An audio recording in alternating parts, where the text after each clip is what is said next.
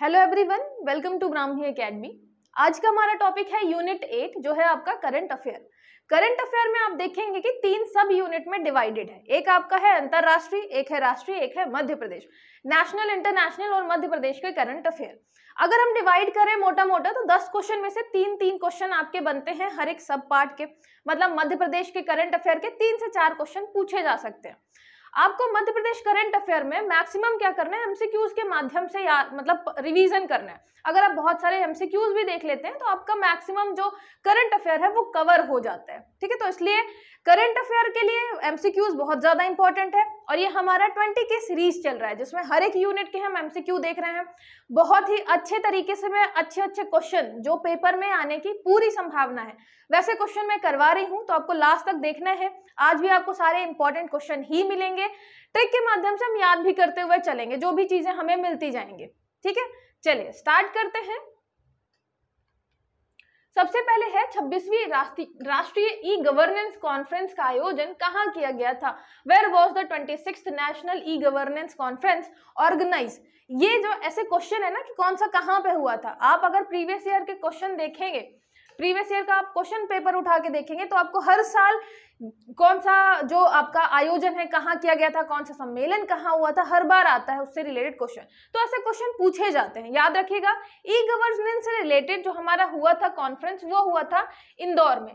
तो इंदौर में याद रखिएगा, इंदौर और ई गवर्नेंस ठीक है? ये हो गया आपका ई गवर्नेंस इंदौर में हुआ था। तो आपको याद करना है गवर्नेंस जो है इंदौर का काफ़ी अच्छा चल रहा है, इसलिए हमने सम्मेलन भी कहाँ करवाया कॉन्फ्रेंस कहाँ करवाई आयोजित इंदौर में करवाई, ठीक है? तो इंदौर में ई गवर्नेंस गवर्नेंस काफ़ी अच्छा चल रहा है इंदौर का, ठीक है? गवर्नेंस वो भी ई गवर्नेंस काफ़ी अच्छा चल रहा है इंदौर में। तो ऐसे आप क्या कर सकते हैं रिलेट कर सकते हैं। उसके अलावा अगर इंदौर में बात की जाए तो आप इससे पहले मैं क्या पढ़ा चुकी हूँ, आपको ग्रीन बॉन्ड भी पढ़ा चुकी हूँ। ग्रीन बॉन्ड जारी कर चुका है, ठीक है? उसके अलावा आप यहाँ पे पढ़ेंगे कि पहला जो है, यहाँ पे क्या लग रहा है, यहाँ पे डेटा सेंटर भी स्टेब्लिश होने वाला है। उसके अलावा हम इसको फिनटेक सिटी फिनटेक सिटी की तरह भी क्या कर रहे हैं डेवलप कर रहे हैं फाइनेंस जो आपका फाइनेंस टेक सिटी है, उसकी तरह भी इसको डेवलप कर रहे हैं। तो इंदौर से रिलेटेड जितनी भी चीज़ें हैं, याद रखिएगा आप, ठीक है? नेक्स्ट हो गया आपका सत्य कथन बताना है। हाल ही में भोपाल के इस्लाम नगर गाँव का जगदीशपुर का नाम, यहाँ पे है, का नाम जगदीशपुर किया गया। Recently Islam Nagar village of Bhopal was declared name जो है डिक्लेयर्ड जहांगीरपुर, जगदीशपुर है जगदीशपुर। इसका नाम भोपाल रियासत के संस्थापक दोस्त मोहम्मद खान द्वारा बदला गया था। Its name was change by Dost Mohammad Khan the founder of princely state Bhopal. तो आपको बताना है इसमें से सत्य कथन कौन सा है? तो याद रखिएगा, जब आप पढ़ते हैं यहाँ पे रियासतें तो आप उसमें देखते हैं कि जैसे ही आपके दोस्त मोहम्मद खान आते हैं और रियासत, भोपाल रियासत की क्या करते हैं, स्थापना करते हैं तो वो एक इलाका होता है जगदीशपुर, है ना? और जगदीशपुर इसी इलाके में, जगदीशपुर का नाम बदल के क्या करते हैं, वो इस्लाम नगर करते हैं और यहीं पे क्या करते हैं? आपके भोपाल रियासत की स्थापना करते हैं। तो ये आप पढ़ते हैं रियासत वाले में। अब हमने वापस से जगदीशपुर नाम कर दिया है इस्लाम नगर का, चेंज करके। तो ये दोनों सही है? ये लगभग आपके 1724 की बात चल रही है। है ना? तो टाइम भी याद रखिएगा चौबीस ईस्वी जब आपके भोपाल रियासत की स्थापना होती है। उसी टाइम की ये बात चल रही है। सत्य कथन बताना है तो यहाँ पे एक और दो, दोनों सही है। ठीक है? तो आपका हिस्ट्री से रिलेटेड या किसी और सब्जेक्ट से रिलेटेड क्वेश्चन आपके करंट से मिक्स करके भी पूछ सकता है। तो उसके लिए भी तैयार रहिएगा। ठीक है? कचड़े से कोयला बनाने का दूसरा संयंत्र भोपाल में स्थापित किया गया है। The second plant for making coal from garbage has been established in Bhopal. इसके लिए भोपाल नगर निगम और एनटीपीसी के मध्य अनुबंध किया गया है। For this contract has been sign between Bhopal municipal corporation and NTPC इसमें आपको सत्य कथन बताना है। तो पहली बात तो ये आपका दूसरा संयंत्र ये कंफर्म होना चाहिए कि हम क्या कर रहे हैं। हम यहाँ बना रहे हैं कचड़ा आपका जो है, जो आपका कचरा है, कचरे से हम क्या बना रहे हैं? कोयला बना रहे हैं। काफ़ी बिल्कुल अलग प्रोसेस लग रही है कि कचड़े से कोयला बना रहे हैं। तो इसके लिए एक जो संयंत्र है, एक जो आपकी क्या है, मशीन है प्लांट है, वो कहाँ लग रही है? भोपाल में लग रही है, ये बिल्कुल सही है। ठीक है, ये सेकेंड नंबर है जहाँ पे भोपाल में लग रही है। पहला संयंत्र कहाँ लगाया गया? तो ये लगाया गया वाराणसी में। ठीक है, याद रखिएगा, उत्तर प्रदेश, वाराणसी, आपका बनारस, वहाँ पे पहला संयंत्र लगाया गया, दूसरा लगाया आपके भोपाल में। और देख रहे हैं आप कितनी ज़्यादा इंपॉर्टेंट प्रोसेस हो सकती है ये। आने वाले टाइम पे इतना ज़्यादा जो आपका गार्बेज इकट्ठा हो रहा है, उससे हम कोयला बना सकते हैं मतलब एनर्जी भी डेवलप कर सकते हैं। तो ये बहुत अच्छी चीज़ कर रहे हैं हम, एक तरीके से। इसमें नगर निगम और एनटीपीसी ने क्या किया है, एक कॉन्ट्रैक्ट साइन किया ये भी आपका बिल्कुल सही है। तो आपके एक और दो, दोनों सही है। ठीक है, भोपाल में हम क्या लगा रहे हैं? कचड़े से कोयला बना रहे हैं। ये हमारा दूसरा संयंत्र है पूरे देश में। एनटीपीसी और भोपाल नगर निगम जो है आपका, भोपाल म्यूनिसिपल कॉर्पोरेशन उसके मध्य क्या हुआ है? कॉन्ट्रैक्ट हुआ है इस चीज़ इस चीज़ के लिए। ठीक है? ये भी याद रखिएगा। निम्नलिखित में से क्या भोपाल से संबंधित है? Which of the following is related to Bhopal? Shri Ram संग्रहालय। उसके अलावा तुलसी वन, उसके अलावा वन भवन। तो यहाँ पे आपको बताना है, भोपाल में हम क्या क्या बना रहे हैं, ये भोपाल में क्या क्या स्थित है। आपका राम संग्रहालय तुलसी वन अच्छा यहाँ पे आप याद रखेंगे, जब हम श्री राम संग्रहालय की बात करेंगे, या यहाँ पे हम तुलसी वन की बात करें तो तुलसी वन अलग है, जब हम बात करेंगे तुलसी संग्रहालय तो तुलसी संग्रहालय जो होगा, वो अलग होगा, ठीक है? उसके अलावा जो आपकी तुलसी अकादमी है, अकादमी, वो अलग होगी, ठीक है? तो ये आप याद रखिएगा कि क्वेश्चन आपको बड़े आराम से पढ़ना है है ना? ये नहीं कि आपने तुलसी देखा और यहाँ पर टिक कर दिया कि नहीं, तुलसी वाला तो यहाँ से रिलेटेड नहीं है। सपना में हमने कुछ पढ़ा है। तो आपको याद रखना है कि हम संग्रहालय की बात कर रहे हैं या तुलसी वन की बात कर रहे हैं फॉरेस्ट की बात कर रहे हैं, या उसके अलावा तुलसी अकादमी की बात कर रहे हैं, पढ़ाई लिखाई की बात कर रहे हैं अकादमी की, है ना? तो ये आपको याद रखना है। यहाँ पे जो आपका है, राम संग्रहालय हम आपके भोपाल में बना रहे हैं। तुलसी वन भी आपके भोपाल में बना रहे हैं, उसके अलावा वन भवन ये भी भोपाल में बना रहे हैं। तो ये आपका उपरोक्त सभी हो गया सत्य, ठीक है? ये सारे के सारे भोपाल से संबंधित है। ये क्वेश्चन मैंने यहाँ पे ये इसलिए एक्सप्लेन आपको कर दिया जिससे आप क्वेश्चन पढ़ते टाइम थोड़ा शांति से पढ़ें। अगर आप बहुत जल्दी में पढ़ते हैं, वैसे भी प्रीलिम्स में जब आप पेपर दे रहे होंगे तो प्रेशर बहुत ज़्यादा होगा। जैसे ही आपसे तीन चार क्वेश्चन लगातार नहीं बनेंगे तो आपका प्रेशर और बढ़ जाएगा कि यार, बहुत टफ पेपर आया है, बन ही नहीं रहा मेरे से। तो उसमें ऐसे जो छोटे छोटे क्वेश्चन होते हैं, उसको हम क्या करते हैं? जल्दी जल्दी में ढंग से पढ़ते नहीं है और वो हमारे गलत हो जाते हैं। तो याद रखिएगा, यहाँ पे आपको डिटेलिंग ज़रूर याद रखनी है। हम अकादमी के बारे में बात करें संग्रहालय के बारे में बात कर रहे हैं, तुलसी वन के बारे में बात कर रहे हैं। कौन सी चीज़ कहाँ पे स्थित है, ये आपके दिमाग में बिल्कुल क्लियर होनी चाहिए। फिर भगवती लाल राजपुरोहित को किस क्षेत्र में पद्मश्री पुरस्कार 2024 से सम्मानित किया गया है? In which field Bhagwati Lal Rajpurohit has been honored with the Padma Shri Award 2024 Padmashri आपको पता है, हर साल उससे क्वेश्चन आता है। मतलब ये इतना ज़्यादा इंपॉर्टेंट है कि आप गलती से भी गलत नहीं कर सकते। मतलब इतना आपको कोई सोते टाइम भी मार के उठाए ना कि बताओ, ये भगवती लाल राजपुरोहित जी को किसके लिए पद्मश्री मिला है? तो आपको पता होना चाहिए, इतने ज़्यादा इंपॉर्टेंट है। याद रखिएगा, ये इन्हें मिला हुआ है शिक्षा के लिए, शिक्षा और साहित्य के लिए।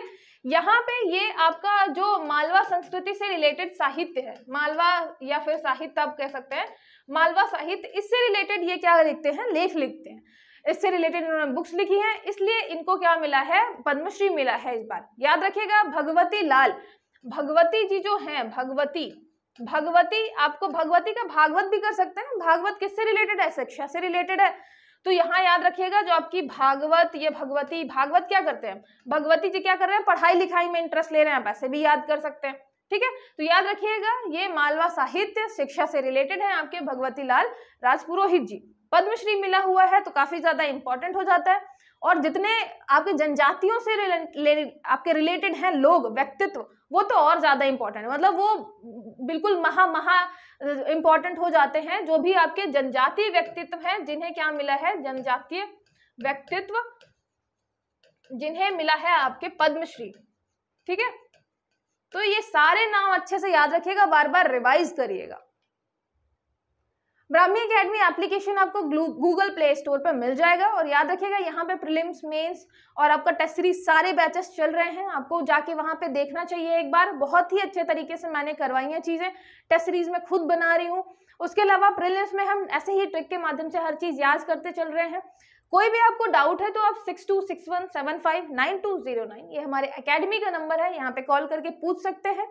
और अगर आप चाह मतलब कॉल नहीं कर पा रहे हैं या आपको आ, मतलब ठीक नहीं लगता तो आप व्हाट्सएप मैसेज भी कर सकते हैं है ना? अगर कोई शाय है थोड़ा सा भी तो आप मैसेज करके भी पूछ सकते हैं कोई भी आपकी इंक्वायरी है तो ठीक है? इसके अलावा हमारा ब्राह्मी अकेडमी का टेलीग्राम चैनल है आप इसे ज्वाइन कर सकते हैं नोटिफिकेशन के लिए। नेक्स्ट हो गया आपका प्रदेश की पहली एरोपोनिक तकनीक पर आधारित लैब की स्थापना कहाँ की जाएगी? Where will be the states first lab based on aeroponics technology be stablish aeroponic आप क्या कर साइंस वाले सेक्शन में आपने ज़रूर पढ़ा होगा एरोपोनिक जो टेक्निक है, वो किससे रिलेटेड है? एरोपोनिक समझ में आ रहा है, ये एयर में क्या करते हैं, हम खेती करते हैं मतलब विदाउट सॉइल मिट्टी के बिना जो हमारी खेती हो रही है विदाउट सॉइल जो हमारी खेती हो रही है, उसको कहते हैं हम एरोपोनिक टेक्नोलॉजी से खेती करना एग्रीकल्चर करना, ठीक है? इसके लिए हमने एक लैब स्टैब्लिश की है। तो कहाँ की है? इंदौर ग्वालियर देवास मंदसौर, याद रखिएगा, ये हमारे ग्वालियर में हमने की है एरोपोनिक पे एक लैब जहाँ पे हम एयर में मतलब इसमें क्या होता है? एक ऐसी टेक्नोलॉजी है जिसमें हम हवा में सब्ज़ियाँ वगैरह उगाते हैं, ठीक है? सॉइल की आपके मिट्टी की ज़रूरत नहीं पड़ती। है इसके लिए हमने एक लैब ग्वालियर में बनाया है। याद कैसे कर सकते हैं? हमारे जो ग्वाल बाल हैं, उनके यहाँ की मिट्टी अच्छी नहीं है। अब मिट्टी अच्छी नहीं है तो वो हवा में खेती कर रहे हैं एरोपोनिक टेक्नोलॉजी से। उसके लिए एक उन्होंने लैब भी बनाई है। तो ये आपके ग्वाल बाल हो गए, ग्वालियर से हो गया आपका ग्वाल। ग्वाल ने क्या कर रखा है? एरोपोनिक टेक्नोलॉजी के लिए एक लैब बना रखी है अपने यहाँ पे। ठीक है? क्योंकि इसके यहाँ मिट्टी अच्छी नहीं है, इसलिए मिट्टी का उपयोग नहीं कर रहा। आप ऐसे रिलेट कर सकते हैं। मध्य प्रदेश का कौन सा जिला सरकारी स्कूलों में स्मार्ट क्लास बनाने के मामले में प्रथम स्थान पर है? Which district of Madhya Pradesh stands first in terms of creating smart classes in government schools. सरकारी स्कूलों में क्या कर रहे हैं हम? स्मार्ट क्लास बना रहे हैं। तो याद रखिएगा, सरकारी स्कूलों की बात चल रही है, ना कि यहाँ पे प्राइवेट स्कूलों की। और इसको हम क्या कर रहे हैं? यहाँ पे हम स्मार्ट क्लास बना रहे हैं। ठीक है? इनको हम स्मार्ट क्लास में कन्वर्ट कर रहे हैं। सबसे ज़्यादा अच्छी परफॉर्मेंस जो है पहले रैंक पे कौन है? ये है आपका सीहोर। सीहोर का हम बनाते हैं शहर। तो सीधी बात है ये आपका सीधे सीधे रिलेट हो गया कि जो आपके शहर के सरकारी स्कूल है, वहाँ काफ़ी अच्छा काम चल रहा है। वहाँ हमने बहुत ही अच्छे तरीके से स्मार्ट क्लासेस बना दी हैं सारी की सारी। तो शहर मतलब सीहोर सीहोर में हमने क्या किया है? सरकारी स्कूलों में स्मार्ट क्लासेस लगा दी है, ठीक है? ये याद रखिएगा। उसके अलावा जो आपका मेंटल हेल्थ रिहेबिलिटेशन सेंटर जो था, वो भी हम कहाँ बना रहे हैं? आपके शिहोर में बना रहे हैं। मैंने बताया था मेंटल हेल्थ से रिलेटेड अगर हम कुछ कर रहे हैं तो कहाँ करेंगे? शहर में करेंगे, क्योंकि शहर में बहुत ज़्यादा प्रॉब्लम बढ़ रही है मेंटल हेल्थ की। तो जितनी भी चीज़ें आपको सीहोर से रिलेटेड मिले, सलकनपुर माता आपको मिलेंगी। यहाँ पे हम एक विशाल देवी लोग बना रहे हैं, वो भी आपके सीहोर में ही स्थित है। तो याद रखिएगा, जितनी चीज़ें आपको उससे रिलेटेड मिल रही हैं, आपको सब एक बार में रिवाइज करनी है। Nova smart cities India expo award समारोह में गवर्नेंस और इकोनॉमी अवार्ड किस शहर को प्रदान किया गया?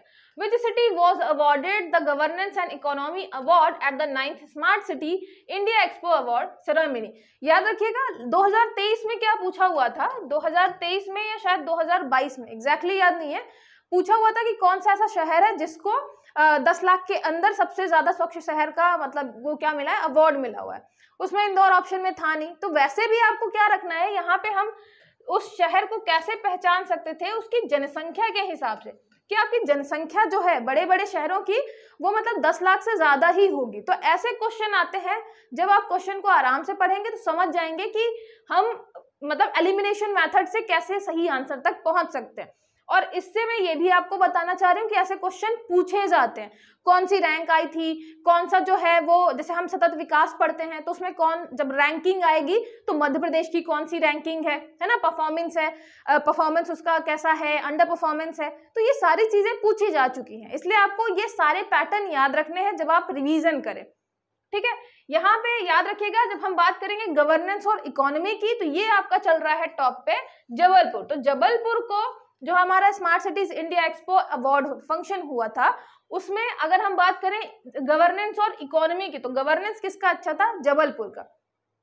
याद रखेगा ई गवर्नेंस की बात करेंगे तो अभी हमने शुरू में देखा ई गवर्नेंस का समारोह इंदौर में हुआ था। तो हम ई गवर्नेंस की बात करते लेकिन सिर्फ़ गवर्नेंस और इकोनॉमी की बात करेंगे तो आपका जबलपुर वहाँ पे अच्छा परफॉर्म कर रहा है। ठीक है तो जबलपुर, याद रखिएगा, जबलपुर, पढ़े लिखे लोग हैं, आपको पता है, सबसे ज़्यादा साक्षर हमारा जिला है ये तो यहाँ पे जबलपुर में क्या हो रहा है? गवर्नेंस और इकोनॉमी के लिए सबसे प्रथम स्थान मिला है। ठीक है? ये याद रखिएगा। फिर देश का पहला जियोलॉजिकल पार्क मध्य प्रदेश के किस क्षेत्र में स्थापित किया जा रहा है? The countries first geological park is being established in which area of Madhya Pradesh? ये क्वेश्चन आप काफ़ी लंबे टाइम से पढ़ रहे हैं, है ना? और इतनी बार पढ़ चुके होंगे कि बहुत सारे लोगों को ये याद ही होगा कहाँ पे स्टैब्लिश किया जा रहा है। ये भारत का पहला है जियोलॉजिकल पार्क, ठीक है? जियोलॉजिकल पार्क या इसको जियो पार्क भी आप बोल सकते हैं, ठीक है? Geo park geological survey of India ने दे दिया है परमिशन। कहाँ पे बन रहा है? तो ये बन रहा है हमारे लम्हेटा घाट में। लम्हेटा घाट और भेड़ा घाट, ठीक है? भेड़ा घाट और लम्हेटा घाट, यहाँ पे बन रहा है क्या आपके? Geological park. ये दोनों कहाँ स्थित हैं? तो ये स्थित है जबलपुर में। तो अगर यहाँ पे क्या पूछता है? शहर पूछता है। शहर पूछता है या फिर आपके जिला पूछता है तो ये हो जाएगा आपका जबलपुर। और अगर घाट पूछता है या इलाका पूछता है, किस क्षेत्र में बनाया जा रहा है जियोलॉजिकल पार्क तो ये हो गया आपका लम्हेटा घाट। लम्हेटा घाट, भेड़ा घाट। ठीक है? ये आप याद रखिएगा। उसके अलावा हम जैसे लम्हेटा घाट और भेड़ा घाट किसमें पढ़ते हैं? यूनेस्को की आपकी टेंटेटिव लिस्ट में ये शामिल है। उसमें भी पढ़ते हैं। इसके अलावा भेड़ा घाट में हमने देखा है कि उस वाले इलाके में जो आपके संगमरमर के पत्थर के शिल्प बनाए जाते हैं, वो जीआई टैग में शामिल हो गए हैं। तो हर एक चीज़ एक दूसरे से रिलेटेड है करंट वाली, याद रखिएगा। मध्य प्रदेश के किस ज़िले में ईट राइट मिलेट्स का आयोजन किया गया था? In which district of Madhya Pradesh eat right millets was organised eat right millets की बात कर रहे हैं आपका। जैसे मिलेट्स ईयर आपका 2023 था ही, फिर हमारी लहरी बाई है, जो आपके मिलेट्स के लिए काम कर रही हैं। तो याद रखिएगा, यहाँ पे ईट राइट मिलेट्स जो है वो ग्वालियर में हुआ था, ठीक है? तो ग्वालियर में हम मिलेट्स खाने की बात कर रहे हैं। मिलेट्स खाने की बात हम कहाँ कर रहे हैं? ये कर रहे हैं हम ग्वालियर में। अब यहाँ पे ग्वालियर से आप क्या रिलेट कर सकते हैं कि जो आपके ग्वाल बाल है, अभी मैंने बताया मिट्टी अच्छी नहीं है, हवा में कर रहे हैं खेती एरोपोनिक्स टेक्निक से। तो यहाँ पे जब मिट्टी अच्छी नहीं है तो क्या उगा रहे हैं? वो मिलेट उगा रहे हैं मिलेट मिलेट उगा रहे हैं मतलब यहाँ पे जैसे बाजरा हो गया, ज्वार हो गया तो ये सारी चीज़ें उगा रहे हैं कौन? हमारे ग्वाल ग्वाल बाल मतलब ग्वालियर वाले। एक्चुअल में है नहीं ऐसा, लेकिन हाँ आप थोड़ा सा रिलेट कर सकते हैं उस चीज़ से। तो ग्वाल वाल के पास मिट्टी अच्छी नहीं है, इसलिए एरोपोनिक मेथड से वो खेती कर रहे हैं। उसके अलावा वहाँ पे मिलेट्स उगा रहे हैं, इसलिए मिलेट्स ईट राइट मिलेट्स का आयोजन भी कहा हुआ था? ग्वालियर में हुआ था। इन, और ग्वालियर की बात करें तो ग्वालियर में क्या क्या चीज़ें हुई हैं? इसके अलावा जैसे आपका ड्रोन मेला हुआ है ड्रोन मेला हुआ था यहाँ पे। उसके अलावा हमने यहीं पे ड्रोन स्कूल भी, पहला ड्रोन स्कूल भी स्थापित कर दिया है। तो ये आपके ग्वालियर से संबंधित हो गया, ठीक है? नवनिर्मित मैहर जिला किस ज़िले के साथ सीमा साझा नहीं करता है? The newly created Maihar district does not share border with which district ये क्वेश्चन मैंने इसलिए रखा है कि आप मैहर, उसके साथ साथ पांढुरना और उसके साथ साथ आपका मऊगंज।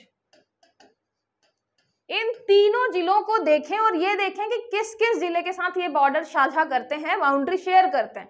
ठीक है, ये क्वेश्चन इसीलिए मैंने किया है आपको कि आप ज़रूर देखिए कि कौन सा किसके साथ बाउंड्री शेयर करता है, क्योंकि ये भी करंट का क्वेश्चन पूछ सकता है Rewa, Shahdol, Katni, Singrauli.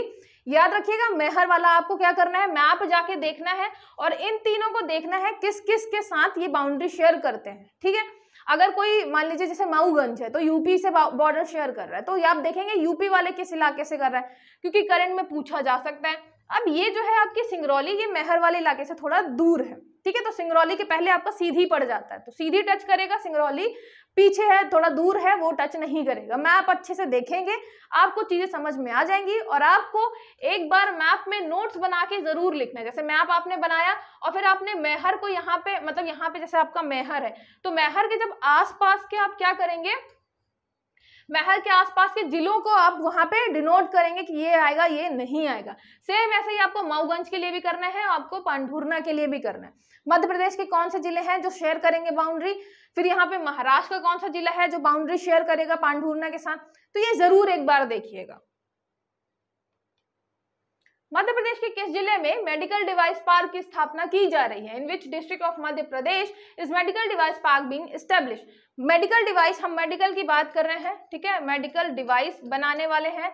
Medical device park तो मेडिकल डिवाइस पार्क कहाँ होगा? मेडिकल से रिलेटेड याद रखिएगा, कहाँ बना रहे हैं? ये बना रहे हैं हम उज्जैन में। तो हमारा उज्जैन मतलब जैन गुरु। जैन गुरु क्या कर रहे हैं? ये जैन लोग जो हैं, काफ़ी अच्छे मेडिकल डिवाइस बनाते हैं, जिससे मतलब एक बार में चीज़ें सही हो जाती है। मेडिकल डिवाइस बनाने में कौन अच्छा है? हमारे जैन गुरु, ठीक है? तो मेडिकल क्षेत्र में काफ़ी अच्छा कर रहे हैं हमारे जैन लोग, इसलिए हमने उज्जैन में मेडिकल डिवाइस पार्क भी बनाया है, ठीक है? तो ये भी याद रखिएगा। ये क्वेश्चन भी आप कई बार देख चुके होंगे। मध्य प्रदेश के बुंदेली कवि पद्मश्री अवध किशोर जाडिया का संबंध किस ज़िले से है? Bundeli poet Padmashri Awadh Padmashri Awadh Kishore Jadiya of Madhya Pradesh is related to which district Datia Sagar, Chhatarpur, Tikamgarh. अब जैसे इसमें आप देखेंगे कि मैंने सारे के सारे बुंदेलखंड वाले ही ज़िले दिए हैं। अगर आपको क्या करना है, मान लीजिए पेपर में पूछा गया तो यहाँ पे मैंने लिखा है बुंदेली कवि। तो सबसे पहले तो आपको देखना है चार ऑप्शन में से कि कौन सा बुंदेलखंड वाले इलाके का नहीं है। क्योंकि सीधी बात है, बुंदेली कवि है मतलब वही ज़्यादा चांसेस हैं आपके होने के। बुंदेलखंड में ही रहते होंगे। तो सबसे पहले आप ऑप्शन में चेक करेंगे कि कौन सा इसमें से बुंदेलखंड वाला जिला नहीं है। ये एक बहुत मतलब मैं आपको तरीका बता रही हूँ सॉल्व करने का। अगर आपको आंसर नहीं पता है तो। आंसर पता है तो सीधे सीधे आप बता दीजिए कि ये छतरपुर के हैं। ठीक है बात ही खत्म। तो हमारे अवध जी जो है ये पद्मश्री इनको मिल चुका है। अवध किशोर जा, जाडिया जी। अवध जी जो है अवध कहाँ के हैं? छतरपुर के हैं। छतरपुर। तो अवध में क्या लगा रहे हैं हम? बहुत सारी छतरियाँ लगाने वाले हैं। पद्मश्री, बुंदेली कवि, याद रखिएगा, और क्या रिलेट कर रहे हैं हमें? बुंदेली। तो बुंदेली कवि जो है, या बुंदेली कविता जो है अवध में बहुत सारे लोग जाके गाते हैं छतरपुर वाले। तो छतरपुर वाले लोग जाते हैं अवध में, और वहाँ पे बुंदेली कविताएँ गाते हैं। तो ये हो गया अवध, छतरपुर, और आपका बुंदेली कवि। ठीक है? पद्मश्री से रिलेटेड है, इसलिए आपको पता ही है कि ये क्वेश्चन इंपॉर्टेंट हो जाता है। फिर पचहत्तरवें गणतंत्र दिवस में शामिल मध्य प्रदेश की झांकी का क्या थीम था? What is the theme of the tableau of Madhya Pradesh included in the seventy fifth republic day अभी आपको पता है, जब पचहत्तरवा आपका क्या हुआ था गणतंत्र दिवस हुआ था तो वहाँ पे मध्य प्रदेश की झांकी को काफ़ी ज़्यादा मतलब सराहना मिली थी। तो ये, इसकी जो थीम थी republic day seventy fifth republic day की मध्य प्रदेश की झांकी की क्या थीम थी? नारी वंदना राज्य विकास, आत्मनिर्भर नारी विकास का मूल मंत्र, आत्मनिर्भर मध्य प्रदेश या नारी शक्ति सशक्त मध्य प्रदेश। याद रखिएगा यह है आपका आत्मनिर्भर नारी विकास का मूल मंत्र, ठीक है? अगर आत्मनिर्भर नारी है तो उसी से विकास हो जाएगा आराम से। यहाँ पे आप देखेंगे तो आपकी जो झांकी थी, उसमें आपकी जो अवनी चतुर्वेदी है, पहली आपकी फाइटर पायलट जो रहती है, महिला फाइटर पायलट रीवा की अवनी चतुर्वेदी, उनकी काफ़ी अच्छी तरीके से बनाई गई थी। फ़ोटो उसके अलावा लहरी बाई को दिखाया गया था, ठीक है? लहरी बाई, उसके अलावा चंदेरी सारी थी, चंदेरी सारी तो जितनी सारी चीज़ें रिलेटेड थी हमारे मध्य प्रदेश से, उसके अलावा महिलाओं से रिलेटेड तो यहाँ आत्मनिर्भर नारी विकास का मूल मंत्र, ये थीम थी आपकी इस बार मध्य प्रदेश झांकी की सेवेंटी फिफ्थ गणतंत्र दिवस के परेड में, ठीक है? याद रखिएगा अच्छा क्वेश्चन है ये, और काफ़ी सराहना भी मिली थी, इसलिए पूछने के भी चांसेस हैं। इक्कीसवीं वर्ल्ड रोज कन्वेंशन 2028 का आयोजन कहाँ किया जाएगा? Where will be the twenty first world rose convention 2028 be held देखिए, होना अभी 2028 में, अभी काफ़ी टाइम है, लेकिन अभी से हमने डिसाइड कर दिया कि आपका जो वर्ल्ड रोज डे है, वो कहाँ हम मनाएँगे? रोज कन्वेंशन की जगह आप रोज डे कर सकते हैं। अब रोज डे वैलेंटाइन डे के टाइम पे हम मनाते हैं। तो आपको इमेजिन करना है कि भोपाल में सबसे ज़्यादा जो है वैलेंटाइन के टाइम पे वैलेंटाइन जो वीक चल रहा होता है तो वैलेंटाइन वीक में सबसे ज़्यादा रोज डे मनाया जाता है कहाँ पे? भोपाल में। अब इंदौर वाले मुझे पता है इन सब चीज़ों में काफ़ी आगे हैं लेकिन वो अपने आप को थोड़ा सा भूल के भोपाल को आगे रखेंगे जिससे कंफ्यूजन नहीं हो हाँ, कि हम रोज कन्वेंशन जो है वो कहाँ बनवा रहे हैं। तो रोज सबसे ज़्यादा कहाँ वाले दे रहे हैं? भोपाल वाले लोग दे रहे हैं ठीक है? तो याद रखिएगा ये रोज की बात करें तो रोज डे अगर कोई सबसे ज़्यादा मना रहा है तो वो मना रहे हैं आपके भोपाल वाले भोपाली लोग। ठीक है, याद रखिएगा 2028 में वर्ल्ड रोज कन्वेंशन होने वाला है मध्य प्रदेश के भोपाल ज़िले में। फिर हलमा अभियान 2023 झाबुआ ज़िले में मनाया गया। हलमा अभियान 2023 was celebrated in the Jhabua district यह अभियान शिवगंगा संस्थान द्वारा जल संरक्षण के लिए प्रारंभ किया गया था। This campaign was started by Shivganga संस्थान फॉर वाटर कंजर्वेशन सत्य कथन आपको बताना है। तो ये भी याद रखिएगा ये तो मैं आपको बता चुकी हूँ कि जो आपका हलमा अभियान है, ये रिलेटेड किससे है? ये रिलेटेड है आपके जल संरक्षण से, है ना? जल संरक्षण से। और मोदी जी ने मन की बात में इसकी बात भी करी है। 2023 में हुआ था स्टार्ट और शिवराज सिंह जी ने किया था। जो ये हलमा प्रथा है, हलमा प्रथा के बारे में भी हम काफ़ी बार पढ़ चुके हैं। किससे रिलेटेड है? भील जनजाति से रिलेटेड है। पूरे गाँव वाले एक दूसरे की हेल्प करते हैं, कोई भी अगर दिक्कत आती है तो। तो जल संरक्षण के लिए यही हलमा अभियान चलाया गया था। कहाँ चला गया था? झाबुआ ज़िले में। तो हलमा से कर सकते हैं आप हलवा। हलवा कौन अच्छा बनाती है? हमारी बुआ। झाबुआ का आपने कर दिया बुआ। तो हमारी बुआ हलवा बड़ा अच्छा बनाती है, ठीक है? और हलवा बनाती है क्यों? क्योंकि उसमें जल संरक्षण पानी काफ़ी कम डालती है। ऐसा नहीं, बहुत ज़्यादा पानी डाल दिया टेस्ट नहीं आ रहा। जल संरक्षण करती हैं हलवे में, पानी बिल्कुल थोड़ा सा डालती हैं, घी से बढ़िया पकाती हैं, इसलिए हमारी बुआ जो है हलवा काफ़ी अच्छा बनाती है। ये जो आपका शिव गंगा संस्थान है, याद रखिएगा शिव गंगा। फिर शिव जी को भी हमारी बुआ चढ़ाती हैं। अब जब चढ़ा मतलब बना ही लिया हलवा तो थोड़ा सा भगवान के लिए प्रसाद भी चढ़ा दिया तो शिव जी को थोड़ा सा हलवा भी चढ़ाती हैं। तो आप ऐसे रिलेट कर सकते हैं। सत्य कथन है आपके एक और दो, दोनों। हलमा प्रथा 2023 झाबुआ में हुई थी, शिव गंगा संस्थान ने करवाया था। वाटर कंजर्वेशन जल संरक्षण से रिलेटेड है। और याद रखिएगा, ये आपके भील जनजाति से रिलेटेड भील और उसकी जो आपकी जितनी भी ट्राइब होंगी उप जनजाति वो सब ये आपका फॉलो करती होंगी, भील ट्राइब ठीक है? इसीलिए आप देखेंगे, झाबुआ में हमने मनाया, झाबुआ जिला में, ठीक है? आज का जो आपका क्वेश्चन है, वो आप आंसर ज़रूर करिएगा। आज का क्वेश्चन है, नागवंश का संस्थापक, ये हमने लास्ट वाले लेक्चर में ही देखा था। नागवंश का संस्थापक कौन था? ठीक है? इसका आपको आंसर करना है। नागवंश का संस्थापक कौन था? लास्ट लेक्चर अगर आपने देखा है तो बहुत ही आसानी से आप इसका आंसर कर लेंगे। ठीक है? चलिए, आपको कोई भी डाउट है तो कमेंट करके पूछ सकते हैं। मिलते हैं नेक्स्ट लेक्चर में।